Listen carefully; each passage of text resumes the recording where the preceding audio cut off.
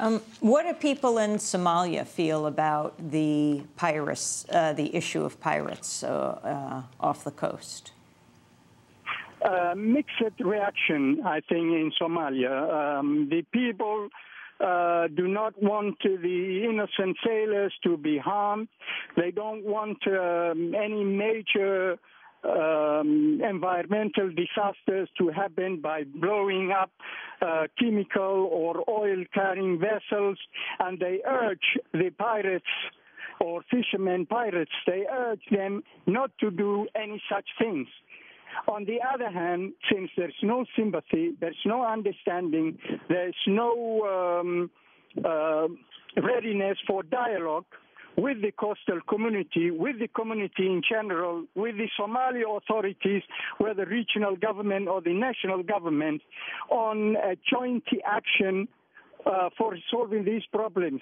Then it's uh, each for his own uh, way of doing, but the people are very concerned. Um, on the one hand, they would like this to be resolved peacefully. On the other, um, they feel very sad and um, for injustice being done by the international community.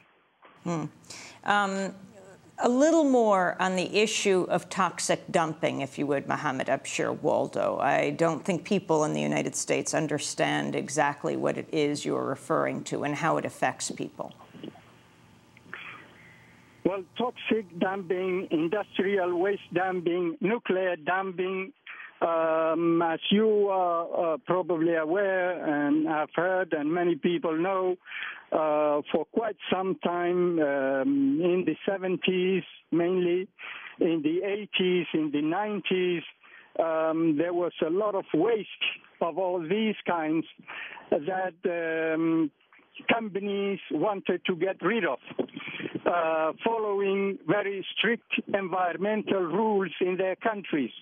So uh, where else to take but uh, in countries in conflict or weak countries who could not um, prevent them or who could be bought so uh, these um, wastes have been carried to Somalia. It's been in the papers.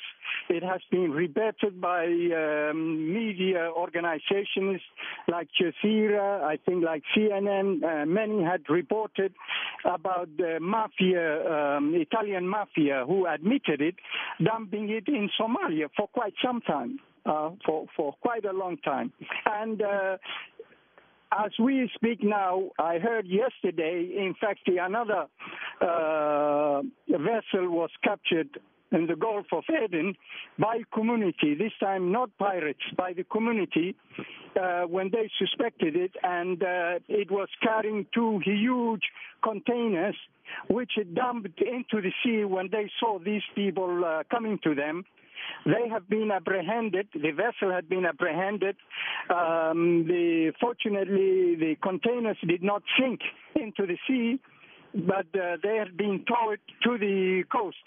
And um, this community have invited the international community to come and investigate this uh, matter. So far, we don't have um, action. So this uh, dumping, waste dumping, toxic dumping, waste, nuclear waste dumping has been ongoing in Somalia um, since 1992.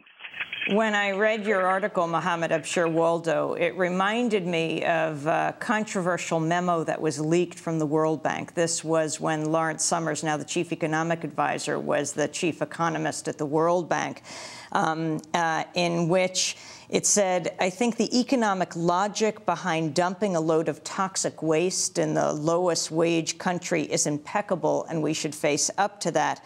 I've always thought that underpopulated countries in Africa are vastly underpolluted. He said he was being sarcastic. Uh, um, actually, um, the more uh, formal, official uh, concerned with this UN Habitat has also confirmed uh, in various reports that this has been dumped in Somalia. Um, the special representative of the Secretary General, uh, Ould-Abdallah, who is now um, uh, working with the Somali uh, authorities, uh, has also, I think, uh, made a statement to that effect. So it is very well known. it's not something hidden. It's not something we are making up. the world knows, but it doesn't do anything about it. Mohamed Abshir Waldo, thank you for joining us, a consultant in Kenya, speaking to us from Mombasa. This is Democracy Now!, democracynow.org, The War and Peace Report. We'll be back in a minute.